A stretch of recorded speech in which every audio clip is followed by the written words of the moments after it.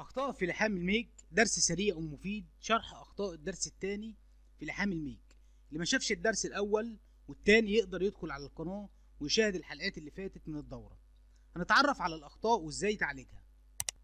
من الأخطاء المهمة وخصوصا في بداية التعليم واحد عدم التحكم في حركة الإيد أثناء اللحام.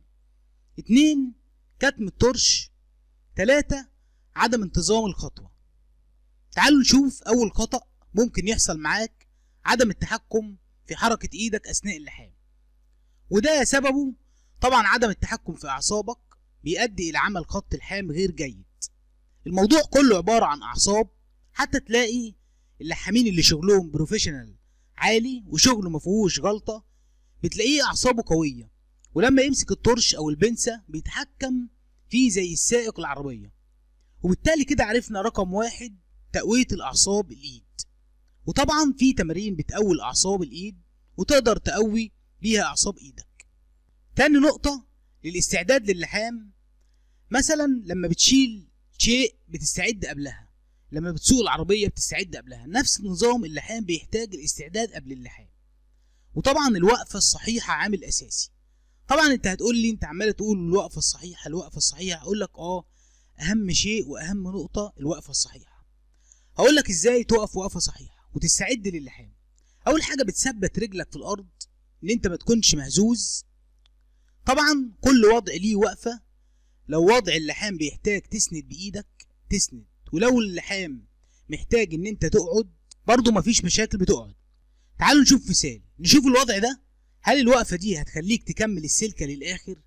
ولا هتيجي في نص السلكة وهتحتاج تعدل الوقفة؟ هو ده المقصود إن أنت تقف وقفة تكمل معاك السلكة للنهاية. فلازم قبل ما تبدأ اللحام تحرك إيدك بالطرش أو البنسة وتشوف الوقفة هتجيب معاك لحد فين. تاني خطأ معانا كتم الطرش في المعدن. بيسبب لزق الطرش في المعدن وبيسبب عدم توزيع الحرارة الكافية وبيسبب عدم كفاءة خط اللحام بشكل الصحيح إزاي تعالج المشكلة دي؟ زي ما حضراتكم شايفين هنا الفرق بين السلكة اللي خارجة من الطرش والمعدن تخليها ما تقلش عن واحد ملي طبعا أول ما بتضرب في المعدن وبتبدأ تنور بالطرش بتاخد وضع الملي اللي قلنا عليه وتحافظ على المسافة دي لحد نهاية الخط.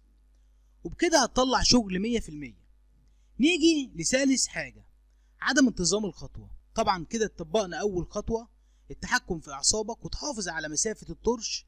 فاضل الانتظام في الخطوة. إزاي تحافظ على الانتظام في الخطوة؟ لو طبقنا الخطوتين اللي قلنا عليهم هتقدر تحافظ على انتظام خطوتك. لأن التلات خطوات بيكملوا بعض. بس هنوضح أكتر تالت نقطة. مثال جبنا بليتة وبالصاروخ عملنا خطين قريبين من بعض. الخط ده رقم واحد والخط ده رقم اتنين. نقطة بداية نقطة بداية ضرب الطرش هتكون رقم واحد ونقطة نهاية هتكون رقم اتنين. وتبدأ تطبق الخطوتين دول لحد نهاية عمل الخط اللحام. ما تخرجش عن الخطين نفس السرعة اللي بتمشي بيهم حافظ عليهم هتطلع شغل هيعجبك ما تخليش حد ييأسك استمر وربنا يوفق الجميع. وعملنا جروب على الفيسبوك يا ريت تتابعونا عليه علشان هنجمع إن شاء الله فيه مئة ألف مشترك معانا. هيكون أجانب وعرب. وإن شاء الله الجميع يستفاد منه. وكل اللي عنده سؤال يسأل فيه واللي عنده معلومة ينزلها. لو حسيت إن إحنا بنتعب في الشرح علشان حضرتك تستفاد اشترك معانا واضغط إعجاب. وبكده أنت بتدعمنا. أشوفكم على خير في الدرس القادم. تكملة الدورة. سلام عليكم.